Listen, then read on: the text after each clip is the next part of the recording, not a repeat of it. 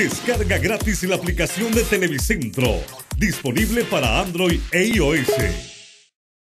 En Venezuela, el Partido Libertad y Refundación, porque se ha dicho de que ustedes han sido financiados o reciben financiamiento de parte de los gobiernos de Chávez y actualmente del presidente Maduro.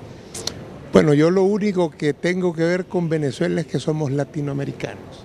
Y el Partido Libertad y Refundación no nace ni por Maduro ni por Chávez, nace por un pueblo que salió a las calles a defender la democracia cuando se dio un golpe.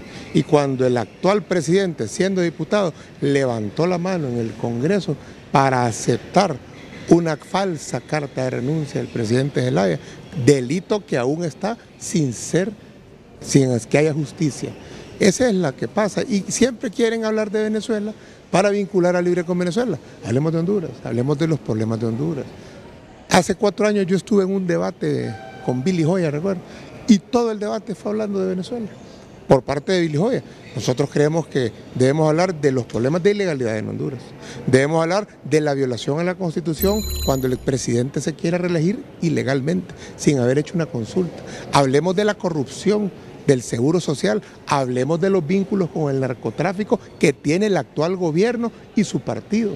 Hablemos de por qué destituyeron a aquel aquel comandante de la policía que capturó a los valles y que dijo que había un cartel nacionalista y otro liberal.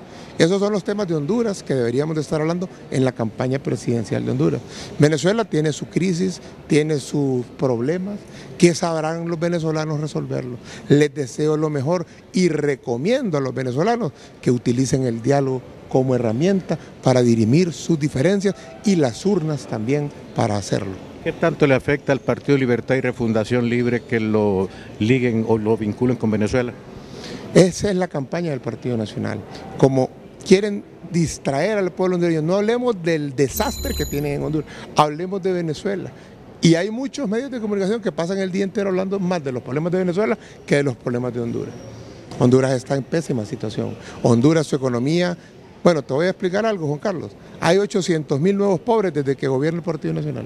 800 mil nuevos pobres. Ese ha sido el crecimiento de la pobreza en Honduras.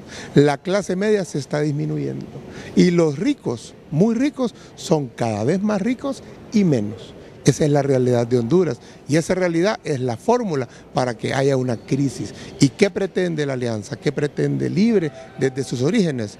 Que evitemos una crisis trasladándole al pueblo la facultad soberana que tiene de decidir su futuro. Señor Reina, pero ¿les ha llegado fondos a ustedes de allá de Venezuela antes o eh, en la actualidad?